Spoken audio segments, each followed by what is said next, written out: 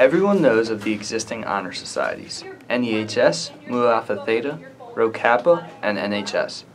But most students don't know about the new honor society.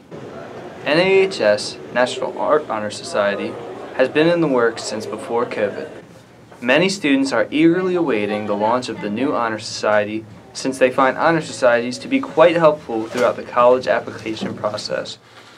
When it comes to colleges that specialize in the arts, NAHS may provide several options for students. Anything that might provide a student an advantage over the competition is incredibly helpful given how tough the college application process can be. And National Art Honor Society is just what art students need.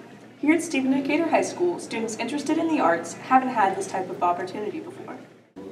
The head of the art department, Mrs. Sancita, is the one who's responsible for making the program. She has also taught from Art 2 all the way to AP Art History.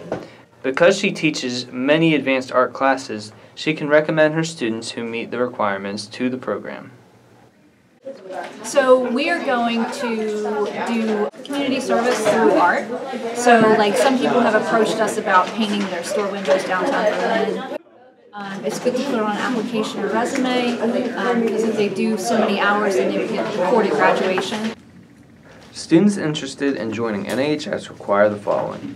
An initial fine art credit in an art class, two advanced art classes, being signed up for a third advanced art class, have an overall 3.0 GPA along with a 3.5 in their art classes, and submit a portfolio of 10 pieces for review.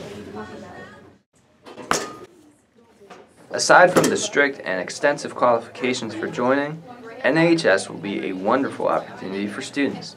It will also give fundraising and community service opportunities to the art department. Students will also benefit from NHS in other ways. I am very excited. And then being surrounded by people who enjoy art just as much as me. And then expanding my abilities in art. Um, join Art Society if you can. National Art Honor Society will be an incredible opportunity for students interested in the arts, provide fundraising opportunities for the art department, help build strong and long-lasting connections in the community, and connect students with their peers. We want to letting art be in the school more. We're a little hidden, um, and I'd like for us to be a little more in the forefront. Overall, NAHS will be an effective and horrific experience for art students. This is Nick Hitchens and Chris Munn reporting from SDHS for the Decatur News Network.